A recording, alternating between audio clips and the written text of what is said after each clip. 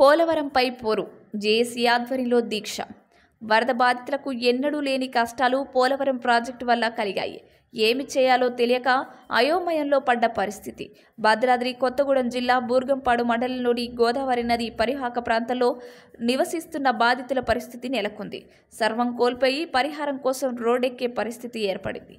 ఇటీవల వచ్చిన వరదలు పోలవరం కాపర్ ప్రాజెక్టు వల్లేనని ఈ ప్రాంత వాసులు భావిస్తున్నారు. ఈ నేపథ్యంలో జేఏసీగా ఏర్పడి శుక్రవారం దీక్ష చేపట్టారు. బూర్గంపాడు మండలాన్ని గోదావరి ముంపు ప్రాంతంగా గుర్తించాలని రెండు వేల పదమూడు భూసేకరణ చట్టం ప్రకారం పరిహారం చెల్లించాలని ప్రధాన డిమాండ్లతో దీక్ష చేపట్టారు. ఈ దీక్షలో పలు పార్టీలు పాల్గొన్నారు.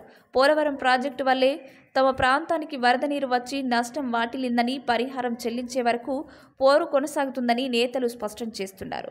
పోలవరం పోరు చిలికి చిలికి గాలివానలాగా అయ్యే అవకాశాలున్నాయి. ప్యాకేజీ ఇవ్వాలని లేని పక్షంలో ఉద్యమం ఉవ్వెత్తున జరుగుతుందని ఆందోళనల దశల వారీగా ఉంటాయని నేతలు పేర్కొన్నారు. మీరు మా కార్యక్రమాలు వచ్చే విధంగా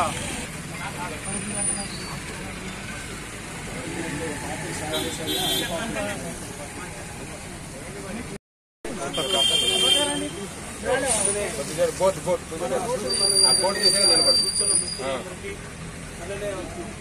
అందరికీ ధన్యవాదాలు తెలియజేస్తున్నాం ఈ విషయాన్ని ఈరోజు కూర్చున్నది తాత్కాలికంగా అనేది ప్రతి ఒక్కరు కూడా.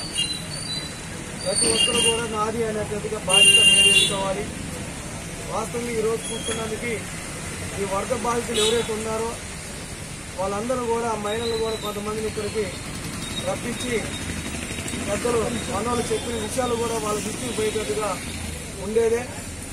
వారిని కూడా రప్పించే దాంట్లో చాలా ప్రమాణంగా మారింది. వాస్తవంగా మీకు అందరికీ తెలుసు.